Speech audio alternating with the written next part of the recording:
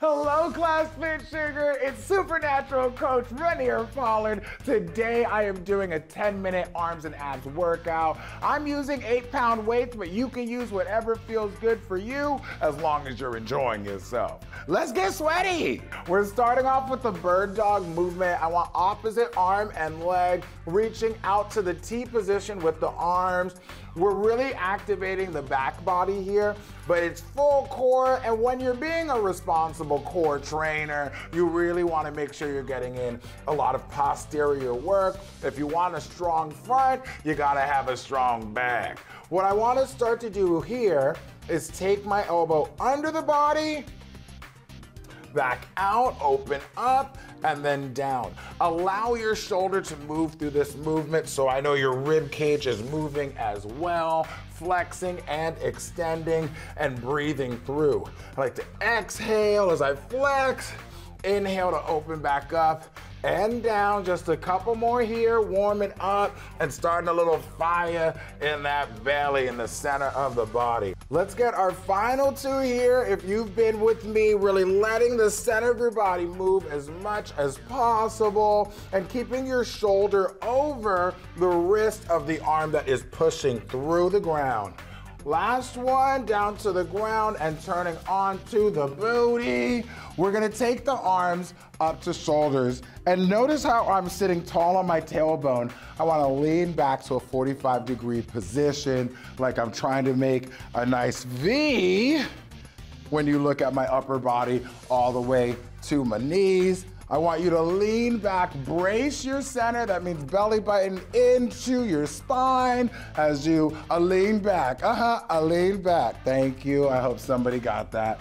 Hold back here, lift up these feet, and let's hold this V-sit. Do not mind if my legs are wobbling right away. My core is tired, and I'm not afraid to admit it, okay? I'm attacking my abs while they're weak, and they will thank me for it while I rest them tomorrow, okay? We have another 10 seconds here, and then we're gonna get on the back and attack, okay? Grab the weight straight away in three, three, two, and down. I'm grabbing onto my weight, lying back, hands up towards the sky.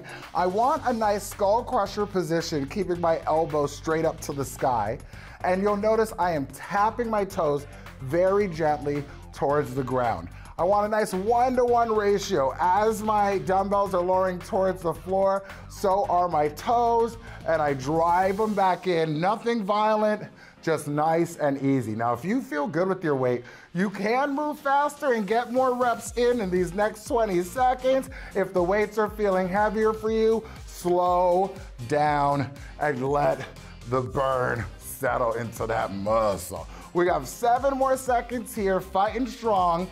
Four, three, two, and one. We're gonna come on up and sit up Give a little rest to the hip flexors by letting the feet stay on the ground. And from here, hands are gonna be right at the shoulders. Let them come all the way to the ground as you get to that 45 degree position again. And a nice bicep curl sit up. Notice how I'm letting the bicep stretch so that it can flex and feel the burn. This again is the same kind of modification you can lighten up your range of motion if you don't feel good letting the weights go as low. You can do less reps if that's what you need, or you can just stay in there and put me to shame if you're feeling good and you know you're gonna beat me today. Last couple here, lean it back, lean it back.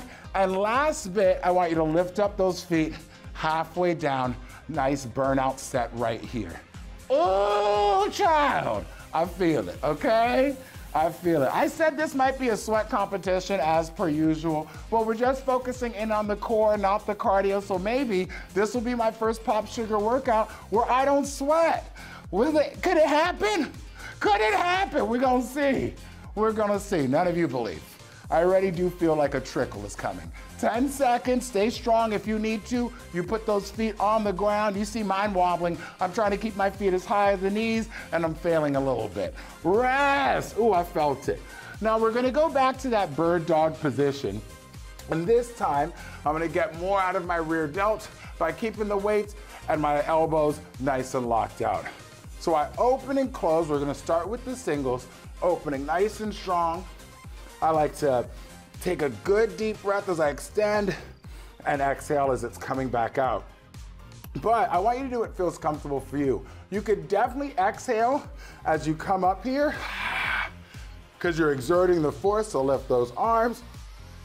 But we're gonna do doubles on every side so we can get a little bit more core in there, a little bit more traditional flex underneath of those abdominals. When you're rounding your back and that dumbbell's coming underneath, I want you to think of doing how you feel when your back is doing a bicycle, right? You let your back round because your abs are flexing. I'm trying to do the same thing here when my dumbbell goes to my knee. And I flex that core, then open up and get that back attack. Less than 20 seconds remaining. Push through that floor and make the core do more. Come on, I was wrong. The sweat's dripping. The sweat's dripping already. Sweat King for life, do you hear me? You'll never take my crown. Never! yes, laughing at my jokes is part of the core work, okay? Do it, get that work in. Now, we're going right back onto the back. We're getting right back into those triceps, but if you feel good, long arms, long legs. So, I'm only doing long legs. I only meant that the long arms are when they lock out at the top. But I'm really trying to focus on taking these hands right around my ears, tapping the ground, really getting a nice stretch to the triceps. So again, the bigger the stretch, the bigger the flex. If these leg lifts are too much, stick to the bent knee version, tapping the toe to the ground, or just don't take your feet as low. Take it around to that 45 degree angle. Do what feels good for you and that low back as well, really paying attention. That's why we like to work out. Gives us time to communicate with our body. From here, let's sit up and we're gonna get into a full bicep curl sit down sit up. well, you gotta go both ways. Why are they only a sit up? Because you have to control the way down too. Who decided that the way, the way up was the only thing that needed to be in the title? This is a sit up and down. I was just being grammatically correct when I said a sit down. Goodness. You see how I'm the one blamed? I'm I'm ridiculing myself for getting something wrong and I screamed at you. like you were mad at me for calling it a sit down. That's how most issues are happening in our head. It's us making fun of us, and then somebody else casually mentions something at it, and we bite their head off. I'm like, what? You know, I know, I'm getting deep. I'm a philosopher. Let's get them up in the air just like last time. This time, I'm pulsing. I'm pulsing. Oh, at that 45 degree angle, right where that bicep is like, um, you know I'm weak here. You know this is a vulnerable position for me. Why would you expose me like this? I'm doing this for us. You hear me? I'm doing this for us. You better fight 10 seconds. Ah!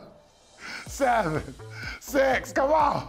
Oh, three, two, one. Very good job. Going right back to those bird dogs. Let's finish them out. Opposite arm and leg, we're getting doubles from the very start.